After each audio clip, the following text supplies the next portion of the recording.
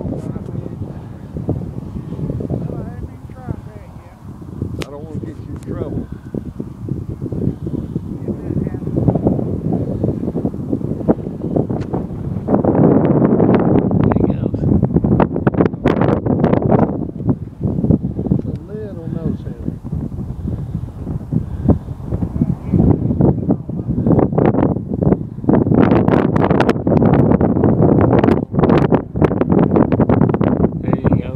Yeah.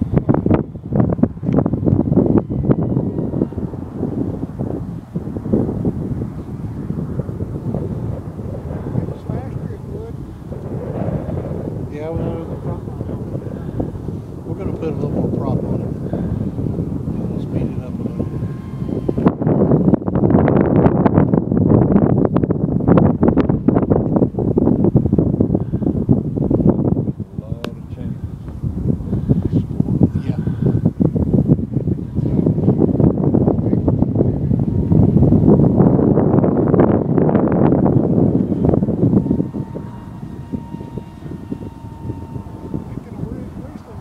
Yeah, a little bit.